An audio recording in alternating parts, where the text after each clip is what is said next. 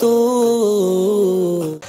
तो सुनैना ख़ान है, इनका सवाल ये है कि जोहर का वक्त इनके कलकत्ता के अंदर ढाई बजे ख़त्म हो जाता है और बग़ैर देखे इन्होंने कभी कभी कुछ नमाज़ें दो बज के पच्चीस मिनट पर शुरू की। एक दो मिनट टाइम आगे पीछे होता रहता है। इस बात का ख्याल रख बग़ैर। और अब ये भी नहीं मालूम कि कितनी नमाज़ ऐसे पढ़ ली तो नमाज़ पच्चीस पे शुरू की गई होगी और तीस पे टाइम ख़त्म है तो क्या इस तरह से आ,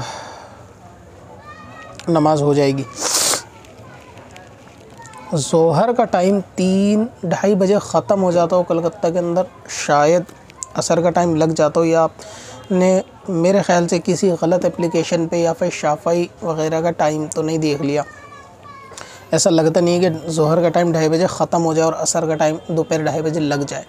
लेकिन फिर भी अगर ऐसा है कि वाकई में ऐसा है कि कोई भी नमाज़ का टाइम है कि जो ख़त्म हो गया, उससे पाँच मिनट पहले शुरू की तो क्योंकि जहर शुरू करने के लिए पहले चार सुन्नत पड़ी होंगी तो अगर वो चार सुन्नतें पाँच मिनट में अदा हो गई होंगी और फिर असर का टाइम लग गया होगा तो इस सूरत में जो जोहर की फ़र्ज़ की नीयत बंदी होगी, वो असर के टाइम में बंदी होगी तो इस सूरत में वो नमाज़ जो है वो नहीं अदा होगी, बल्कि क़ज़ा हो जाएगी। अब ये कि अंदाज़ा नहीं है तो आपको वो एक दफ़ा कैलेंडर देखना पड़ेगा।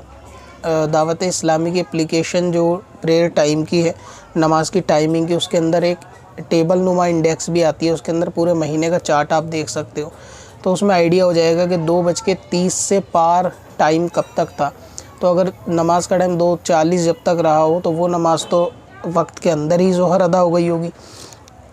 और अगर ऐसा है कि चालीस से यानी तीस या उससे नीचे टाइम आया हो, वो कितने दिन तक आया, उस दिनों का अंदाज़ा लगा कर जन गालिब करके कि बीस दिन की, पच्चीस दिन की नमाज़ें, उसको वापस जहर की दोहरा ली जाएँ।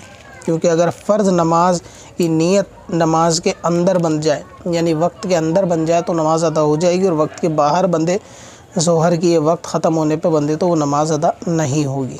कब से अपनी खताओं का शुमारा जाएगा?